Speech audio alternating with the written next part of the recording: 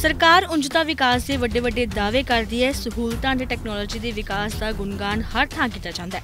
ਪਰ ਸੀਵਰੇਜ ਦੀ ਸਫ਼ਾਈ ਅੱਜ ਵੀ ਲੋਕ ਆਪਣੀ ਜਾਨ ਦਾਅ ਲਾ ਕੇ ਕਰ ਰਹੇ ਨੇ। ਹੁਣ ਬਰਨਾਲਾ ਦੇ ਖੁੱਡੀ ਰੋਡ ਤੇ ਸੀਵਰੇਜ ਦੀ ਸਫ਼ਾਈ ਕਰਦੇ ਇੱਕ ਮਜ਼ਦੂਰ ਆਪਣੀ ਜਾਨ ਤੋਂ ਹੱਥ ਤੋਂ ਬੈਠਾ। ਦਰਅਸਲ ਗੁਜ਼ਰੀ ਸ਼ਾਮ ਸੀਵਰੇਜ ਦੀ ਸਫ਼ਾਈ ਕਰਦਿਆਂ ਕਰਮਚਾਰੀ ਦੀ ਗੈਸ ਚੜਨ ਦੇ ਕਾਰਨ ਮੌਤ ਹੋ ਗਈ। ਮੌਕੇ ਦੇ ਨਾਲ ਕੰਮ ਕਰ ਰਹੇ ਸਫ਼ਾਈ ਕਰਮਚਾਰੀਆਂ ਨੇ ਦੱਸਿਆ ਕਿ ਸੀਵਰੇਜ ਬੋਰਡ ਵੱਲੋਂ ਕੱਚੇ ਮੁਲਾਜ਼ਮ ਠੇਕੇ ਤੇ ਰੱਖੇ ਜਾਂਦੇ ਨੇ। ਉਹਨਾਂ ਨੂੰ ਸੀਵਰੇਜ ਦੀ ਸਫ਼ਾਈ ਦੇ ਕੰਮ ਲਈ ਭੇਜਿਆ ਜਾਂਦਾ ਹੈ ਤੇ ਉਹਨਾਂ ਦੀ ਸੇਫਟੀ ਲਈ ਕੋਈ ਵੀ ਪ੍ਰਬੰਧ ਨਹੀਂ ਕੀਤਾ ਜਾਂਦਾ।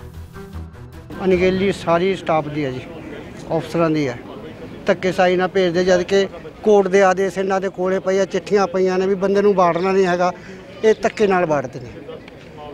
ਉਹਨਾਂ ਦੇ ਵਿੱਚ ਕਿਹੜੇ ਕਿਹੜੇ ਅਫਸਰਾਂ ਦੇ ਵਿੱਚ ਆਉਂਦੇ? ਸਾਰੇ ਹੀ ਆ ਗਏ ਜੀ ਜ਼ਿੰਮੇਵਾਰ ਜਿਹੜੇ ਜੇਈ ਐਸਡੀਓ ਐਕਸ਼ਨ ਤੱਕ ਆ ਗਏ। ਕਿੰਨਾ ਕੁ ਡੂੰਘਾ ਸੀ ਜਿੱਥੇ ਇਹਨੂੰ ਸਾੜਿਆ ਸੀ? ਇਹ ਹੈਗਾ ਜੀ ਤਕਰੀਬਨ 18 20 ਫੁੱਟ। ਉੱਥੇ ਜਗਾਸ ਚੜ ਗਈ ਜੀ ਬੰਦੇ ਨੂੰ ਨਿਕਲਿਆ ਨਹੀਂ ਗਿਆ ਡਿੱਗ ਪਿਆ ਉੱਥੇ। ਇੱਕ ਮਿੰਟ ਦੇ ਬਸ। ਇਹ ਤਾਂ ਇਹ ਤਾਂ ਗੇੜਾ ਨਹੀਂ ਖਾਣ ਦਿੰਦੀ ਜੀ ਗੈਸ। ਸਾਡੇ ਪਹਿਲਾਂ ਕਈ ਕਾਂਡ ਹੋ ਚੁੱਕੇ ਆ। ਇਹ ਚੌਥਾ ਪੰਜਵਾਂ ਕਾਂਡ ਹੈ ਬਰਨਾਲਾ ਸ਼ਹਿਰ ਦੇ ਵਿੱਚ। ਕਦੇ ਤੁਸੀਂ ਮੰਗ ਨਹੀਂ ਕੀਤੀ ਕਿ ਸਾਨੂੰ ਮਾਸਕ ਤੋਂ ਬਿਨਾਂ ਅਸੀਂ ਜਾਂਦੇ ਨਹੀਂ ਅਸੀਂ ਆਇਆ ਕੁਝ ਬਥੇਰੀ ਕੀਤੀ ਹੈ ਜੀ। ਬਥੇਰੀ ਕੀਤੀ ਹੈ ਇਹ ਕੰਟੈਕਟ ਤੇ ਨੇ ਬੰਦੇ। ਕੱਚੇ ਰੱਖੇ ਹੋਣੇ ਇਹਨਾਂ ਨੂੰ ਰੋਬ ਨਾਲ ਕੰਮ ਕਰਾ ਲਿਆ ਜਾਂਦਾ ਜੀ ਧੱਕੇ ਨਾਲ ਲਿਆ ਜਾਂਦਾ।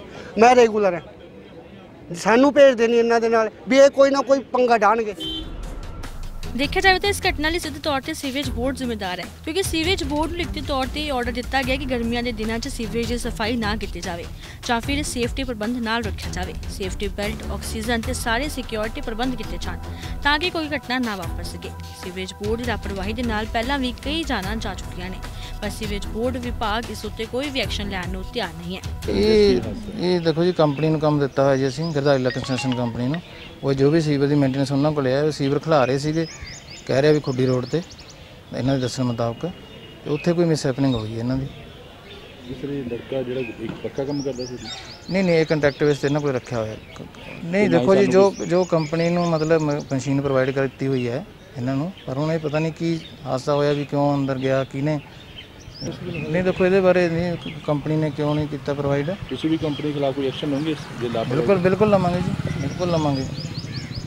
ਕੀ ਕਾਰਵਾਈ ਕੀਤੀ ਜਾਊਗੀ? ਸਰ ਉਹਦਾ ਹਰ ਵਿੱਚ ਦੇਖ ਰਹੇ ਹਾਂ ਬਿਲਕੁਲ ਕਾਰਵਾਈ ਕਰਾਂਗੇ। ਇਹਨਾਂ ਦੇ ਲਿਖਾਂਗੇ ਇਹਨਾਂ ਦੇ ਜੋ ਇਹਨਾਂ ਦਾ ਟੈਂਡਰ ਹੈ ਉਹਨੂੰ ਕੈਨਸਲ ਕਰਨ ਵਾਸਤੇ। ਫਿਲਹਾਲ ਮ੍ਰਿਤਕ ਦਾ ਪੋਸਟਮਾਰਟਮ ਕਰਵਾਉਣ ਲਈ ਪਹੁੰਚੇ ਸਫ਼ਾਈ ਕਰਮਚਾਰੀਆਂ ਨੇ ਸੀਵਰੇਜ ਬੋਰਡ ਵਿਭਾਗ ਦੇ ਖਿਲਾਫ ਨਾਅਰੇਬਾਜ਼ੀ ਕਰਦਿਆਂ ਮੰਗ ਕੀਤੀ ਹੈ ਕਿ ਮ੍ਰਿਤਕ ਦੇ ਪਰਿਵਾਰ ਨੂੰ 10 ਲੱਖ ਦਾ ਮੁਆਵਜ਼ਾ ਤੇ ਪਰਿਵਾਰ ਨੂੰ ਇੱਕ ਨੌਕਰੀ ਜ਼ਰੂਰ ਦਿੱਤੀ ਜਾਵੇ। ਬਰਨਾਲਾ ਤੋਂ ਬਾਲਕ੍ਰਿਸ਼ਨ ਗੋਇਲ ਦੀ report daily post Punjabi. Canada SDS ਪ੍ਰਣਾਲੀ ਦੇ ਅੰਦਰ 1 ਸਾਲ ਦੀ ਫੀਸ 1 ਸਾਲ ਦੀ GIC ਅਤੇ ਆਇਲਸ ਵਿੱਚ 6 ਈਚ ਬੈਂਡ ਹੁਣ ਲਾਜ਼ਮੀ ਕਰ ਦਿੱਤੇ ਗਏ ਹਨ। ਸੋ ਜੇ ਤੁਸੀਂ ਸਪਟੈਂਬਰ SDS ਸਕੀਮ ਤਹਿਤ ਅਪਲਾਈ ਕਰਨਾ ਚਾਹੁੰਦੇ ਹੋ ਅੱਜ ਹੀ ਕੰਟੈਕਟ ਕਰੋ। 92563 92563